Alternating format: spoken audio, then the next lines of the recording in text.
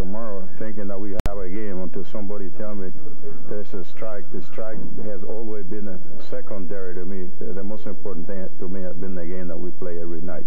I mean, I think we're all looking forward to coming back. I mean, I, none of us really think it's going to be the, you know, the entire time, and uh, looking forward to hopefully coming back and playing in the playoffs and the World Series. So, uh, you know, I think we have a little bit, uh, you know, a little bit more to look forward to than people think. We'll probably get together and, and, and work players, to, to take care of our jobs and do our job well too. So we're going to have to come back in real good shape and try to pick up where we left off. Uh, il faut pas désespérer. Euh, vous savez, une grève, c'est une étape. C'est normal dans le processus de négociation. Tout ce que j'espère, c'est que l'étape soit courte. Et bien voilà qui complète cette autre présentation de cette semaine au baseball.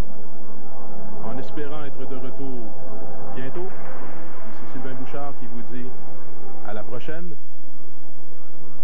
Et surtout, pensez à autre chose qu'au baseball.